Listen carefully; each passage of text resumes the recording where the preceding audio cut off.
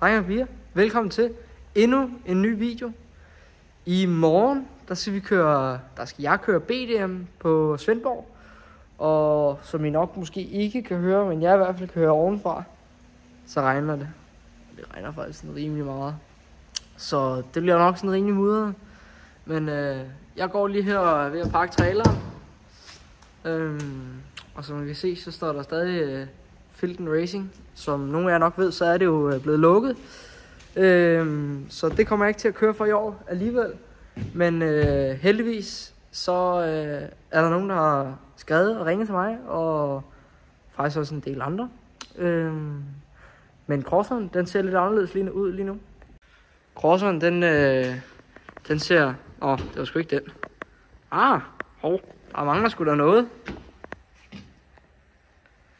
Der mangler lidt, øh, lidt lækkerier derpå.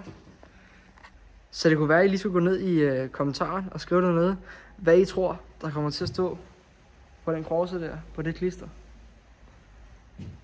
Det må tiden vise. Men øh, gå lige ned i kommentaren og så skriv, hvad for, et, øh, hvad for et team I tror, der kommer til at stå på. For det er da lidt spændende. Jeg glæder mig da i hvert fald. Jeg er sgu lidt tom, var. Ja, øh, ellers så har jeg fået pakket det hele. Gjort klar og sådan noget der. Se, der ligger lige lidt skærme og et sæde og sådan lidt.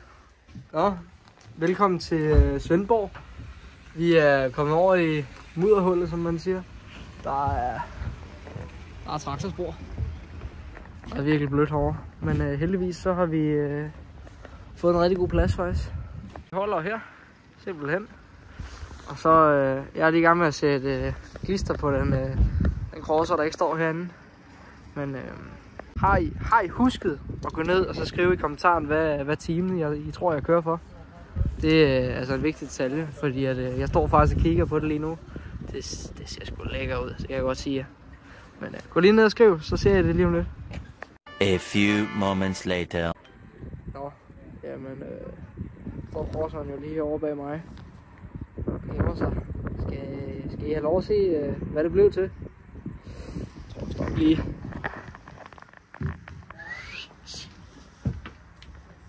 Oh yes.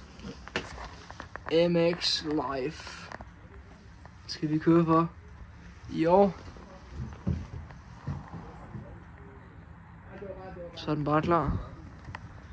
Rigtig fint telt her. Rigtig lækker. Klar til i morgen. Så øh, ryttegården den er pakket, smattet og lækker. Men øh, det her, det spiller bare. God morgen, Nøgenpiger igen. Vi er kommet op, jeg har været oppe på tilmelde og købe noget strøm. Jeg er lige se banen. Ja, prøv at se her. Nej, nej, nej, nej. Den er våd.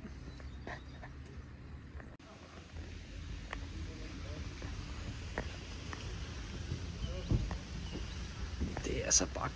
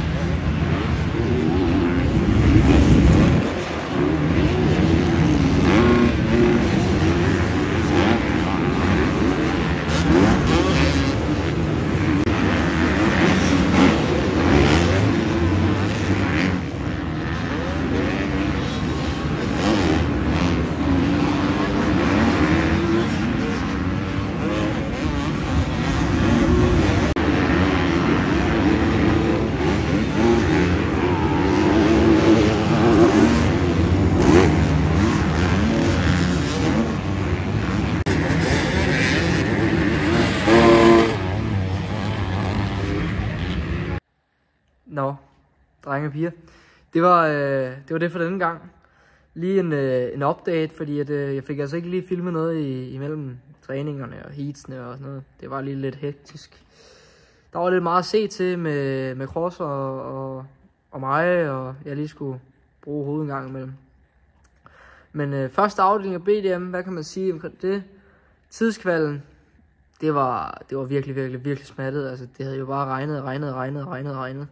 Så banen var virkelig, virkelig, virkelig svær. For mig i hvert fald. Det var ikke noget, jeg var vant til at køre i. Øhm, men øhm, jeg fik sat en tid som nummer 30.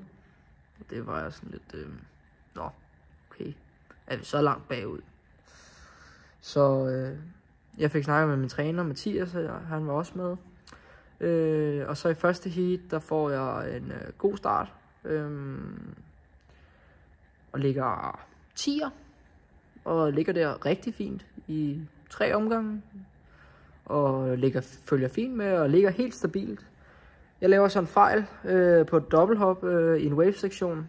Øh, ud af den wave-sektion, der lander jeg skævt øh, i noget mudder. Og jeg lander med fuld gas på.